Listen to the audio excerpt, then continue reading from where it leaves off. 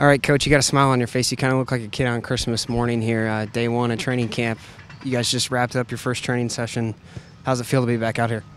Yeah, it's great. I mean, I think uh, every every coach for every soccer team, volleyball team, football team in the fall, it's like Christmas morning. It's a good analogy. You're, you're kind of seeing, hey, what what's under the tree?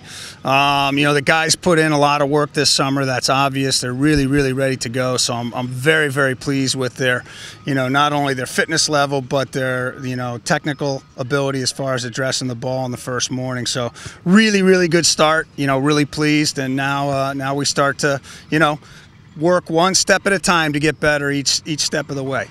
Uh, a lot of new faces here. What's how important is this time, these two weeks here before your first exhibition match on the 15th, to kind of build some team chemistry?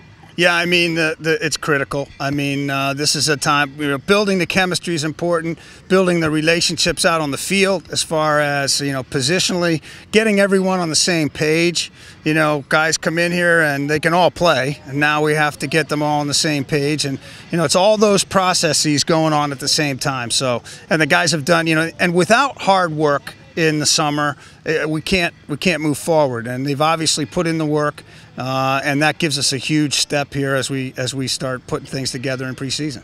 Obviously, it's a long year. You know, you guys want to be playing into December, hopefully at the College Cup.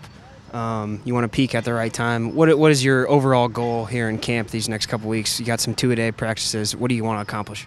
Well, the first goal is to begin to look at all the new players and determine what roles and responsibilities everyone's going to take, whether it's a veteran player, whether it's a returning player, a, a, a, new player, and then start to put them together in, in our team shape and our team philosophy and the way we want to do things. And so that, those are the critical factors. And, and you know, at the same time, we got to make sure we stay away from injury. So it's, it's, it's an interesting thing. We have to work hard to get the uh, roles and responsibilities straight. We need to make sure we're healthy. And then we just kind of start to see as we move through the season how things are going to progress. Okay, thanks, Coach. Appreciate the time. Welcome back. Great. It's great to be back.